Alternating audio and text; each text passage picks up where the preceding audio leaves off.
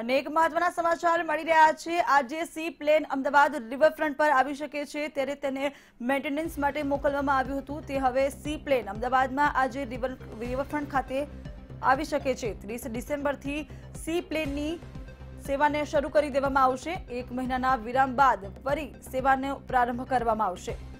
Maintenance માટે માલદીવ મોકલવામાં આવ્યું હતું સી પ્લેન. ત્યારે ત્રીસ ડિસેમ્બરથી હવે શરૂ થઈ જશે સી પ્લેનની સેવા. ઉલ્લેખનીય છે કે અમદાવાદ રિવરફ્રન્ટથી કેવડિયા સુધીની સી પ્લેનની સવારી છે. તો આવતીકાલથી તેની સેવા શરૂ કરી દેવામાં આવશે. ત્રીસ ડિસેમ્બરથી સેવાનો પ્રારંભ કરવામાં આવશે. ત્યારે હાલ સી પ્લેન આવી પહોંચ્યું છે અમદાવાદ રિવરફ્રન્ટ ખાતે.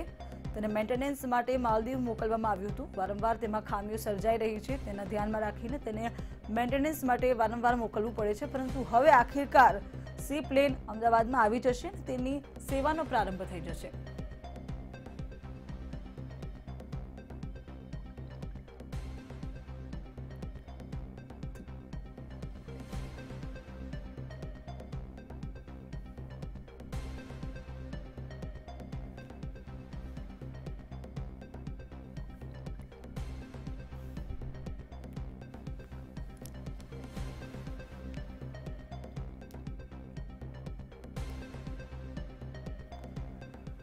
તો સી પ્લેનની સેવાને શરૂ કરી દેવામાં આવશે. આવતીકાલથી સી પ્લેન આવી પહોંચશે આજે અમદાવાદ, માલદીવમાં મેન્ટેનન્સ માટે મોકલવામાં આવ્યું હતું.